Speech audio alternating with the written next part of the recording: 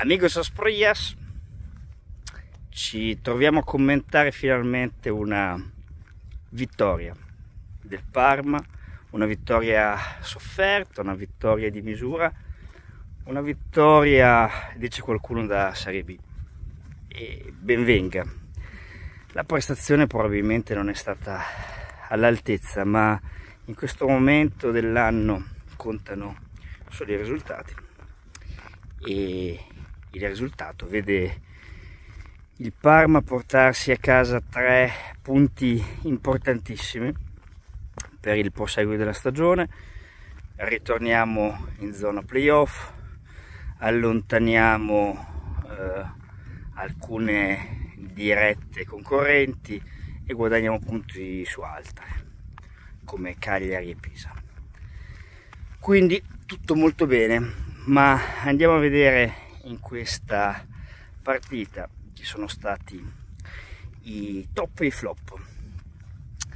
Per quanto riguarda i top alla posizione numero 3 metto Benek che secondo me è stato il migliore del nostro attacco e ha segnato un gol molto bello.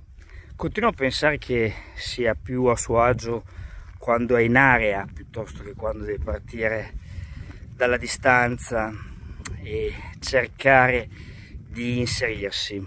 Ma comunque la prestazione è stata senz'altro soddisfacente. In posizione numero 2 metto quello che secondo me ha disputato la miglior partita nel complesso come continuità.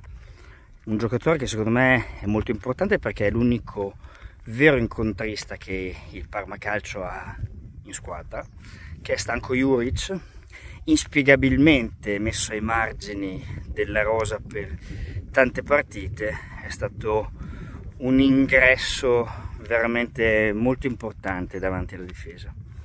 E in posizione numero uno, l'eroe inatteso, Koulibaly, che non solo entra in campo e non eh, fa sfoggio di nessuna delle sue solite usuali cagate, ma è preciso sul pezzo e bravissimo nel seguire l'azione, inserirsi e segnare sulla respinta del portiere dopo la bella azione del Mudo Vasquez.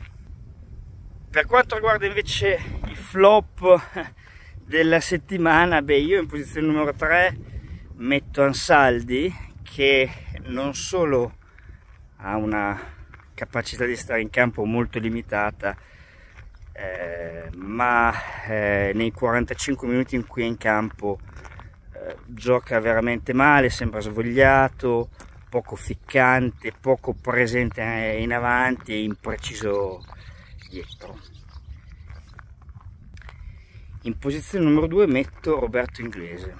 Imbarazzante, una prestazione inguardabile, eh, senza grinta. Eh, l'ho visto addirittura nei replay del gol, non esulta neanche sul gol, sembra proprio svogliato, disinteressato.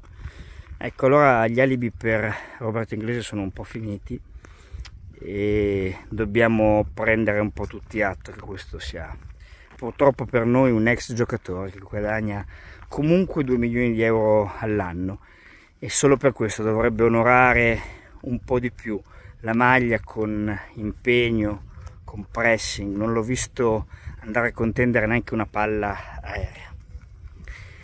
Posizione numero uno, beh, con quello che ha fatto si merita assolutamente la leadership della settimana, Lautaro Valenti, che riesce nella sensazione a fare una cagata fotonica regalando il gol al Palermo che secondo me non aveva altre possibilità di segnare e facendosi anche male ci auguriamo tutti che non sia un infortunio troppo pesante ma ahimè sembra davvero che l'infortunio sia piuttosto grave in questo devo dire è stato parzialmente aiutato da Pecchia che l'ha fatto giocare eh, sul lato destro in cui evidentemente Lautaro Valenti non è proprio a suo agio.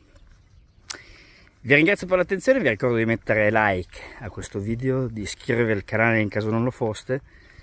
Ci vediamo alla prossima, speriamo nel segno della continuità. Un saluto dall'Ollo.